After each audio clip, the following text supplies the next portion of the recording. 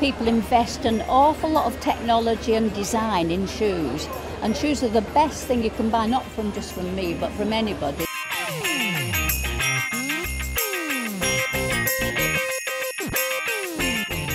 Because if they're not made properly, you will break your ankle with a high heel.